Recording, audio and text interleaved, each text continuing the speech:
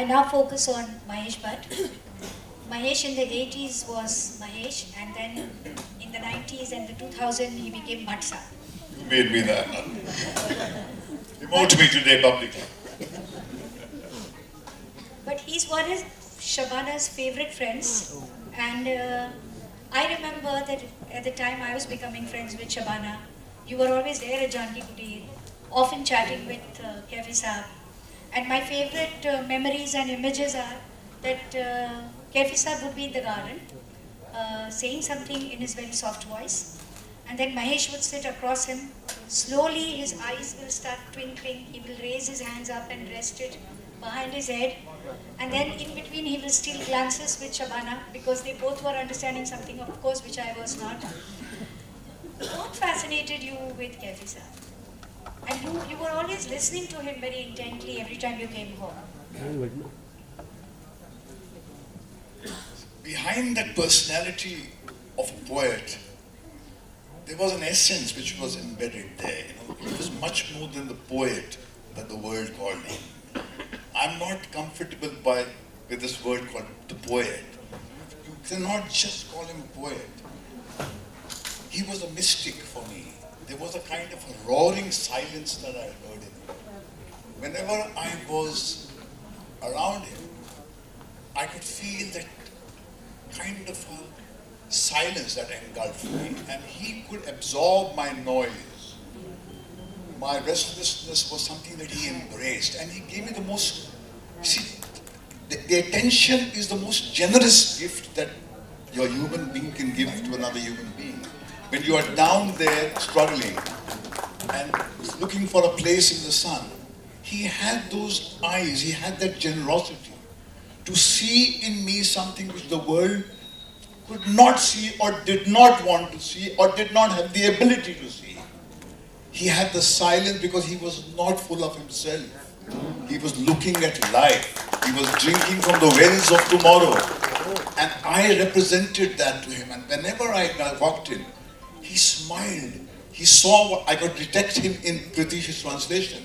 Wherever he saw a spark of rebellion, wherever he saw audacity, he saw with audacity vulnerability also because he could feel that this person who's being audacious is being very vulnerable. He'll be trampled upon, he'll be spat upon. And he, his hands reached out to protect me. And for me, that was Kaifi Saab.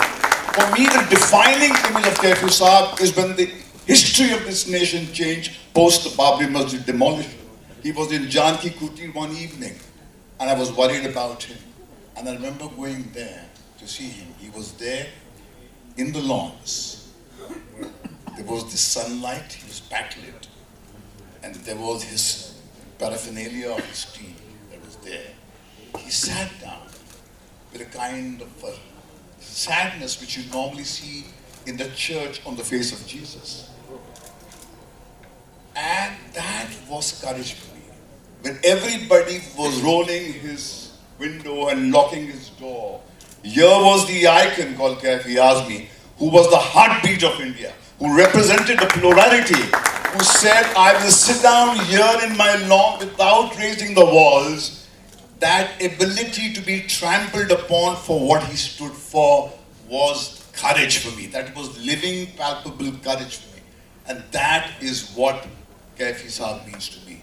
The audacity, he was an embodiment of audacity. So don't trivialize the persona of that man by calling him a poet. A poet is just one dimension of him. His essence was like life. You can't put a full stop on life. You can't put a full stop on Kaifi. He is much bigger than the definition that we seek out to give to him.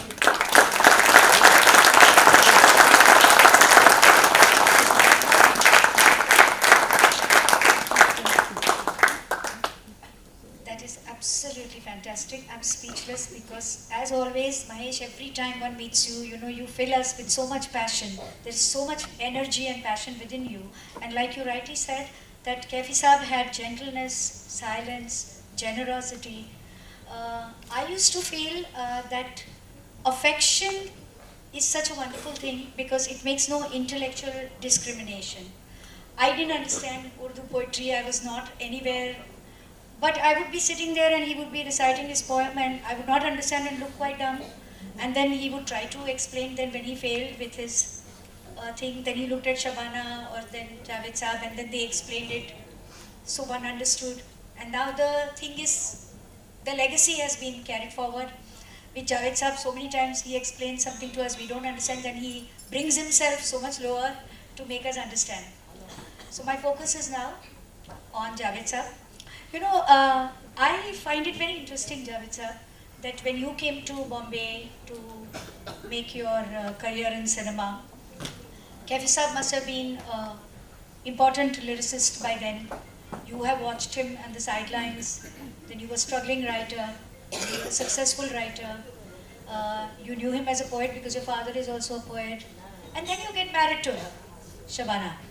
So your relationship has gone through so many changes. I would like to know about the phases. I never had the opportunity to ask, though I always wanted to know. Know, quite often people ask me, when did you meet Kafisa for the first time? I don't remember that. I have no memory of it. Like I don't have any memory when I met my father or my mother for the first time, or say Sahir Saab, or Krishan Chand, or Majrooh, uh, or Ismat. I have no memory when I met them for the first time. Actually, I, th- I think I met them when I couldn't even remember. I didn't know who they were. I was born, fortunate enough to be born in that clan. And I knew them from ever. Uh, I, my first vague memory, that I must be four years old or five, is that I had come to Bombay with my mother. We were staying somewhere in Ismat Appa's house, and then we visited Kaifi Saab's house.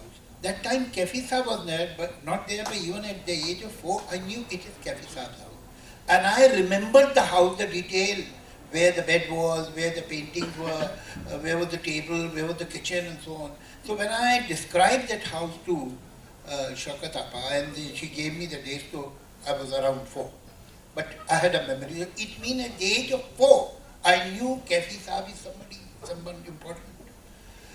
Uh, then obviously one knew him through his uh, poetry, uh, like one learned about Krishnji through his uh, short stories and uh, novels.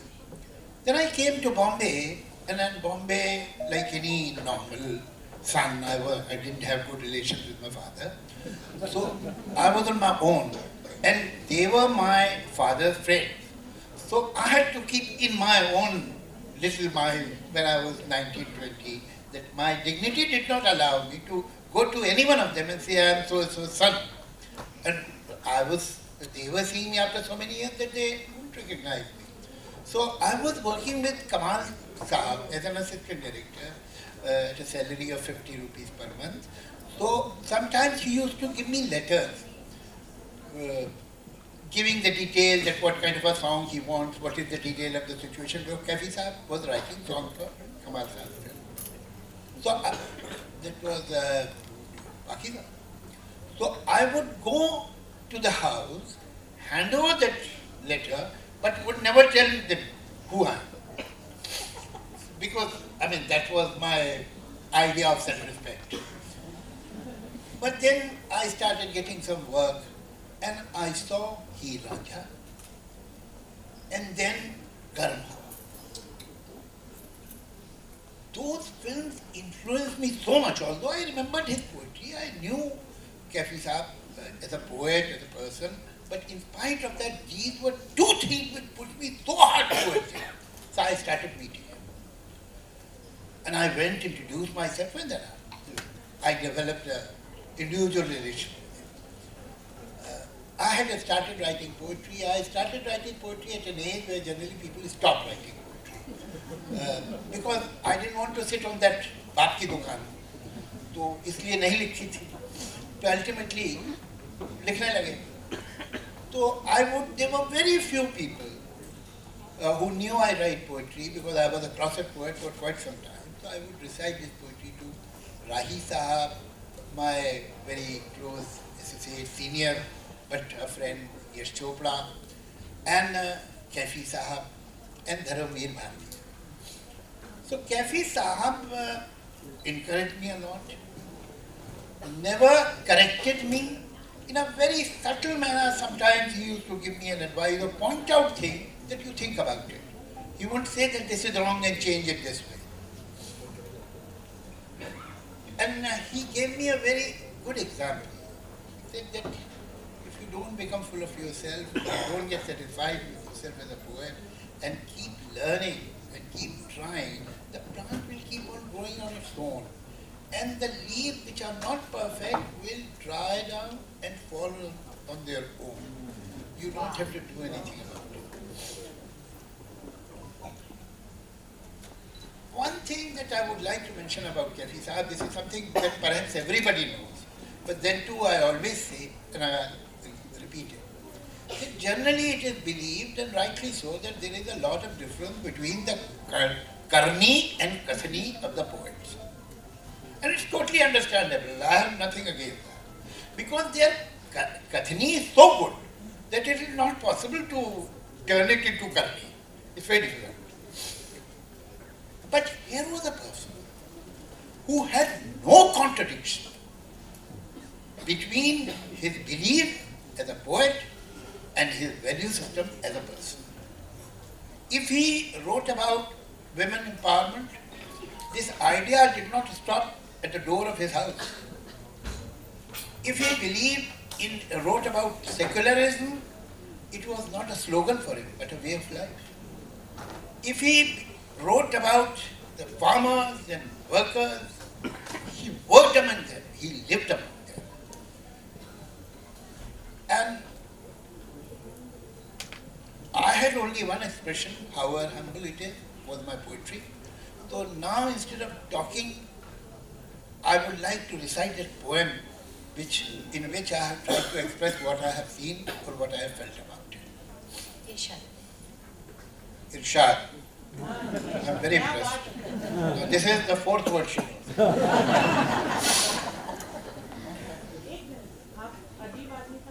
जी हाँ उससे पहले वो हीरान जब का उससे कहना कि तुम मेरा एक ख्वाब हो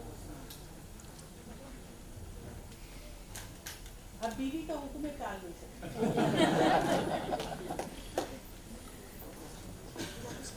नहीं नहीं नहीं, ठीक है उसमें way for the first time sends a message to, he, Raja sends a message to, he. The whole film was in poetry. اس سے کہنا کہ وہ میرا ایک خواب ہے جو دمکتا ہے دل میں وہ محتاب ہے اس سے کہنا کہ گیہوں کے کھیتوں کا رنگ دل ملاتی ہوئی تتلیوں کی امنگ اس سے کہنا کہ جھولوں کی شہنائیاں اور رنگی دوپٹوں کی انگڑائیاں اس سے کہنا کہ چکی کے باٹوں کا راگ، لڑکھڑاتی جوانی مچلتا سہاگ۔ اس سے کہنا کہ دلہن کے کاجل کی پیاس، پہلے بوسے کی گرم اور ٹھنڈی مٹھاس۔ اتنی رنگینیوں کو جو یکجا کیا قدرت نے تب تجھ کو پیدا کیا۔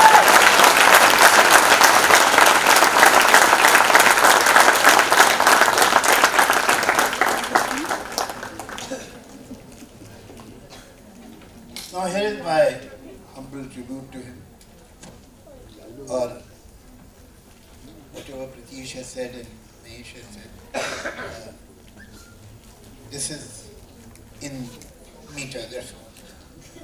all they have said.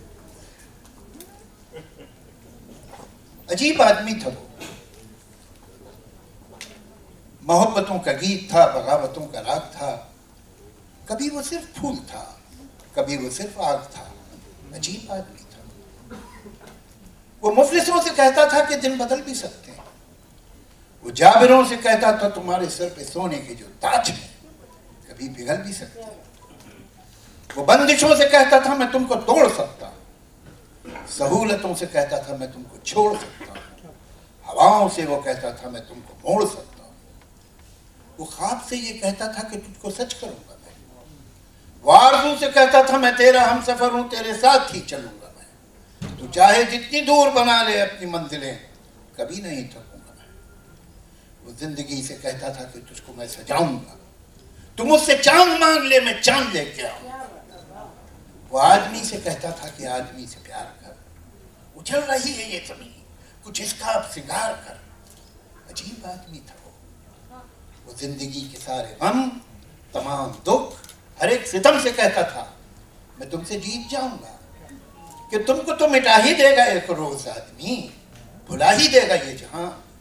میری الگ ہے داستان، وہ آنکھیں جن میں خواب ہیں، وہ دل ہے جن میں دھڑکنے، وہ بازو جن میں ہے سکت، وہ اونٹ جن پہ لفظ ہے۔ رہوں گا ان کے درمیان کہ جب میں بیت جاؤں گا۔ عجیب آدمی تھا۔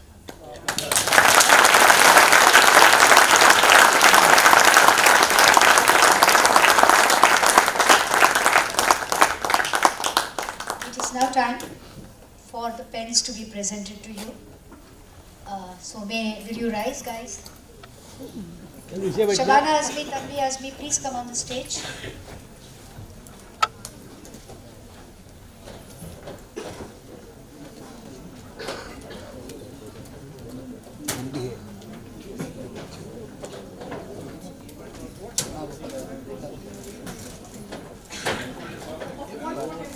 madam.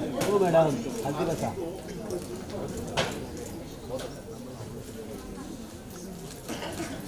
are the pens? Come.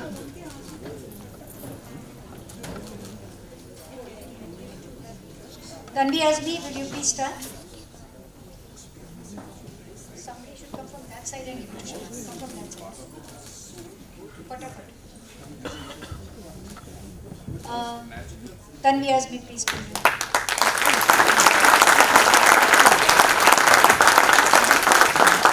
Shabana عظمی شبانہ عظمی یہ جو دکھانا چاہیے وہ کیا غلط غلط چیزیں دکھا رہے ہیں۔ یہ ہے وہ پیٹ جو کیپی صاحب کے نام پر آج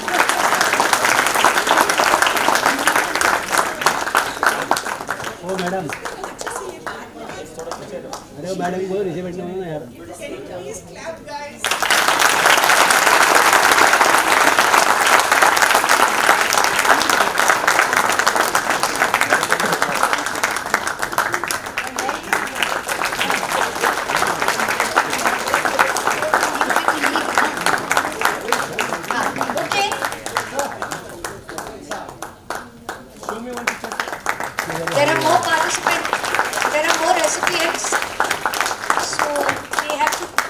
stage.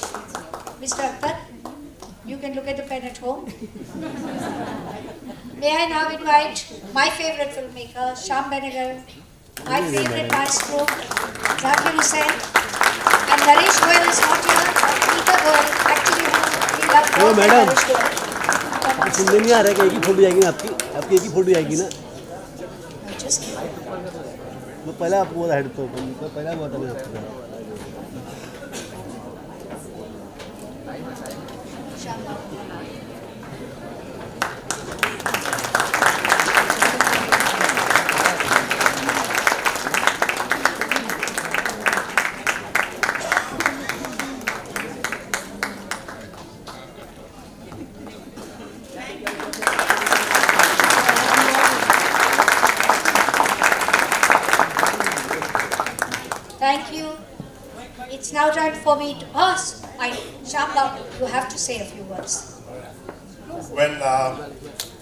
I'm not quite sure what I should be saying, but actually it's a